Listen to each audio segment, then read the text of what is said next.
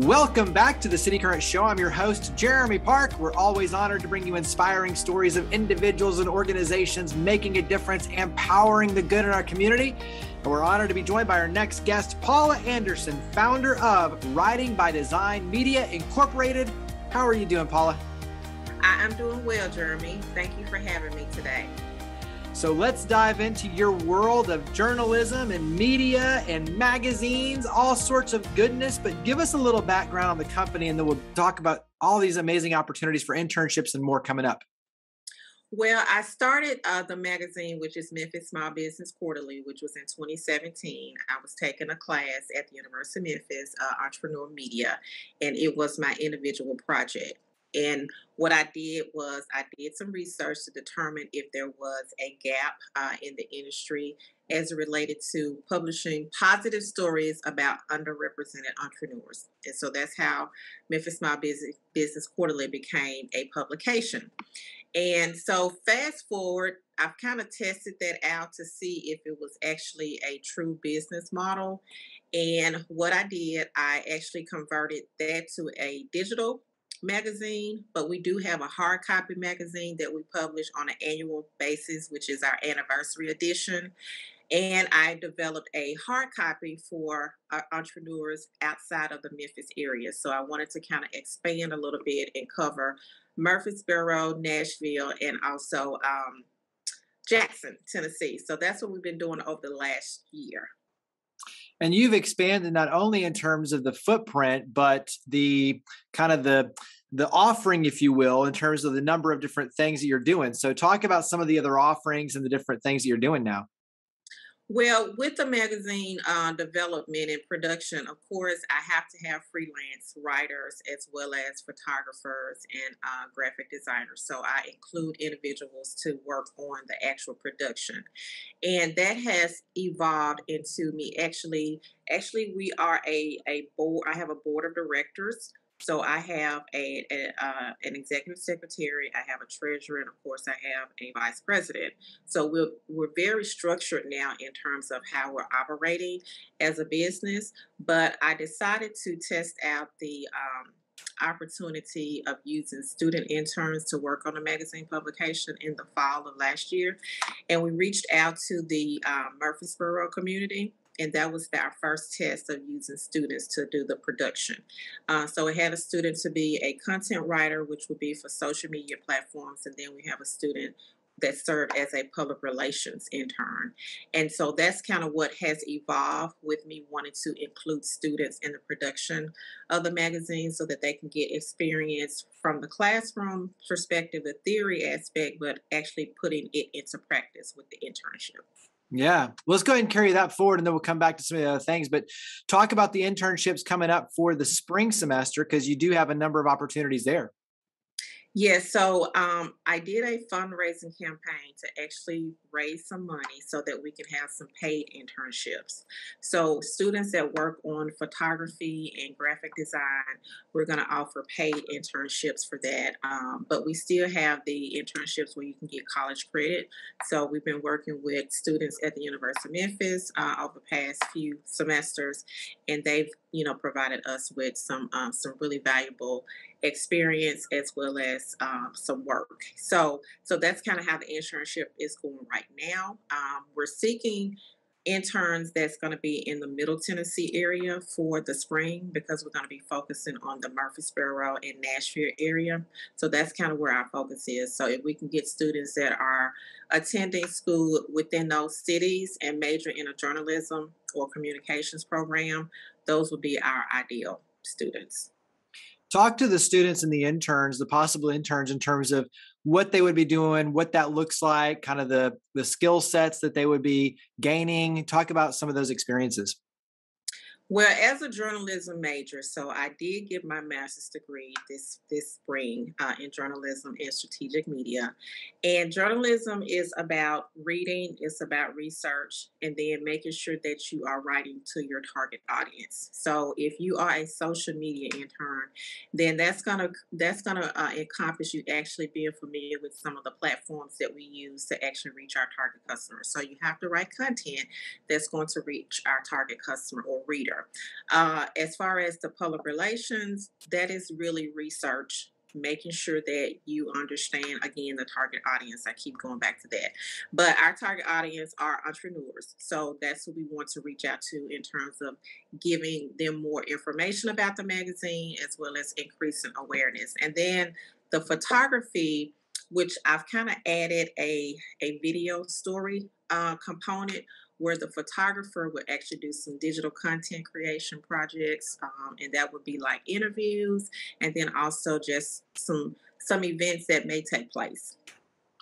When you look at for yourself as a, a journalist but also the business owner and you know kind of the entrepreneurial side talk about kind of that blend of knowing the target audience and knowing the journalism side and getting the masters but then also too trying to run the business. So the business side versus the journalism side, which sometimes can be, you know, a, little bit of like, okay, how do we balance the ship a little bit? So talk about kind of those nuances on your end personally.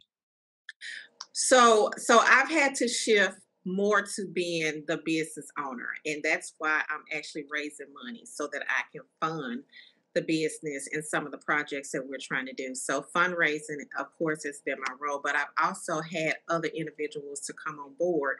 So the board is kind of like to assist me so that certain areas that I'm not really strong in, they can focus on that area. So our vice president, uh, he helps me with a lot of things in terms of like making decisions. So before I actually do anything, then I go to our vice president, which is Eric, uh, to make sure that this is something that we want to do collectively.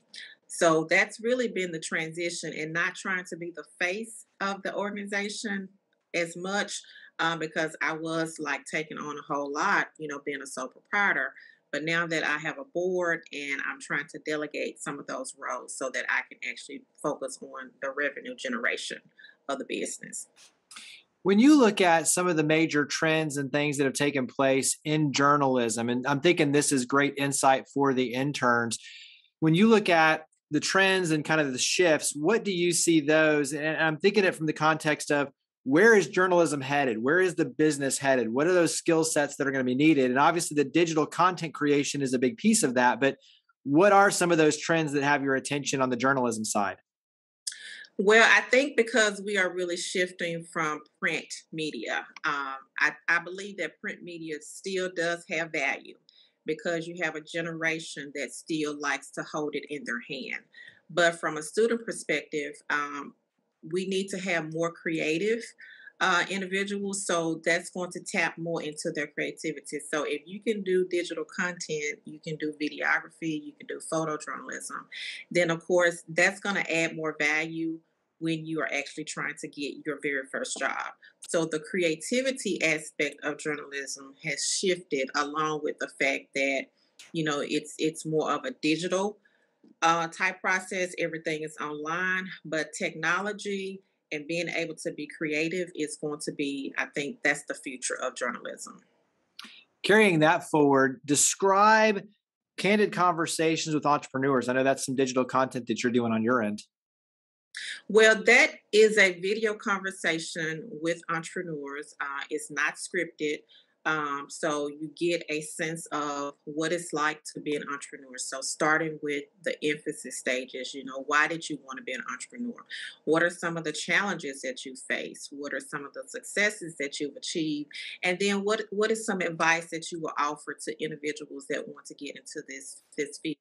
Uh, I did a candid conversation with um, Kenneth Worrells uh, a few weeks ago, and he started most most of the stories start out with you know I was an entrepreneur at a young age, or I did something at a young age, and so that seed was planted within them and so as they got older of course they began to figure out how can i make my own money? But that's normally how the stories go uh, and so it's like i said it's unscripted so that it is a candid conversation.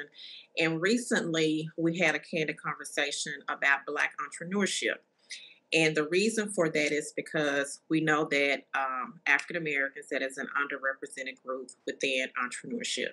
And so we had uh, uh, Eric Brinson was our moderator. We had Justin Key, Paula Farmer, Danielle McGee, Carlos Partee, and Dom Corey, who are entrepreneurs and also educators or work in the area of development entrepreneurs. And so the conversation was designed to just kind of give more information from their perspective and also what are some things that we need to do moving forward to try to, you know, level the playing field, so to speak.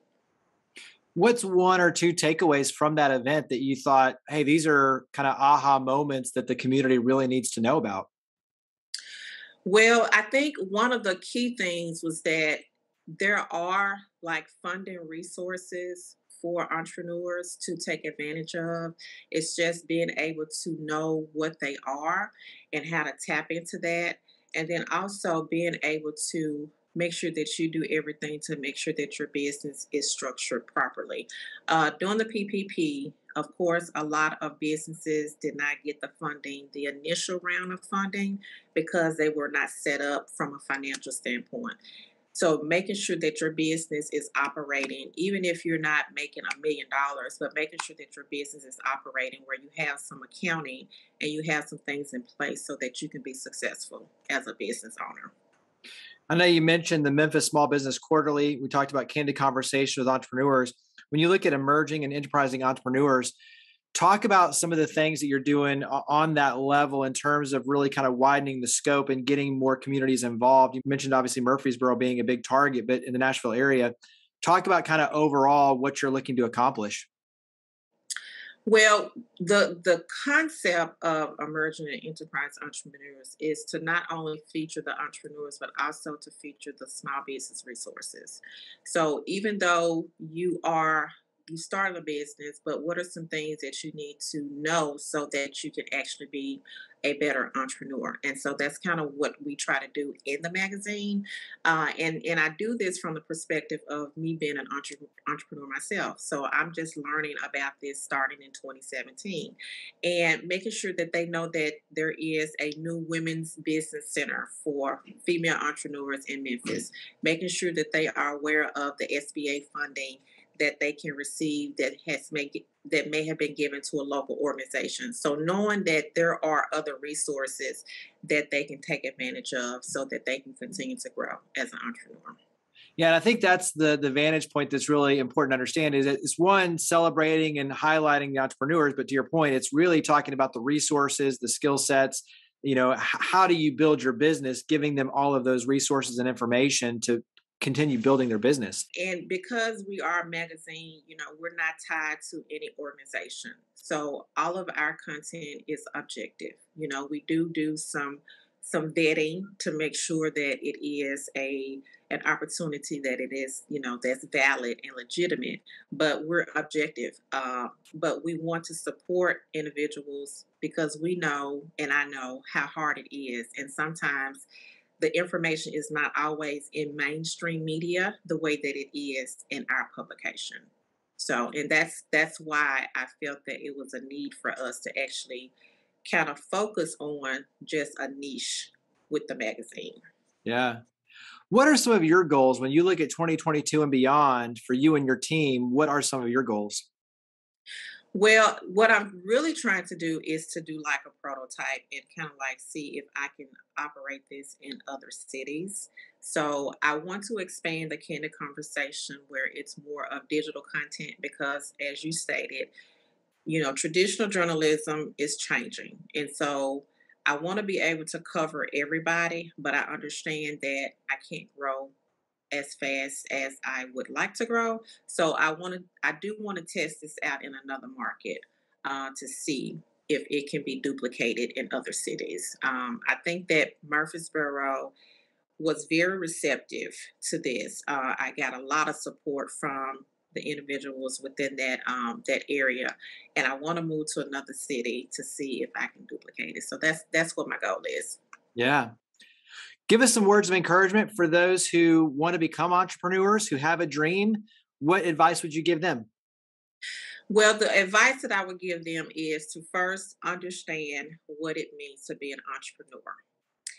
Just obtaining a business license does not guarantee that you are an entrepreneur, but it gives you the the direction of where you want to go. So you have to do a lot of reading, you have to do a lot of research, you have to connect with people, and you do have to understand that it's going to be rough. It's not going to be easy. Uh, I think that there is a certain skill set that you have to have, meaning that you have to have determination when you want to give up. Then that's the time when you really know whether or not you want to be an entrepreneur and if you can move forward because it's not an easy thing to do. Absolutely. We'll wrap up with website, social media. Where do we go to learn more about Writing by Design Media Incorporated? And also, too, just looking at the internship opportunities, where do we go to learn more? All right. So, our website is our primary real estate. And so it's wbdmedia.com wbdmedia.com. So that's our online digital platform. Our internship tab is on there as well, so everything can um, be accessed to our website. Uh, our social media handles we're Memphis Small Business Quarterly on Facebook. We're underscore MSBQ underscore on Instagram, and we're Emerging Enterprise and Entrepreneurs on Facebook. And we have a YouTube channel, uh, which is Memphis Small Business Quarterly. Yeah. Well, Paula, greatly appreciate everything you and your team are doing. Thank you for coming on the show. Thank you so much for having me, Jeremy, and I look forward to talking with you again.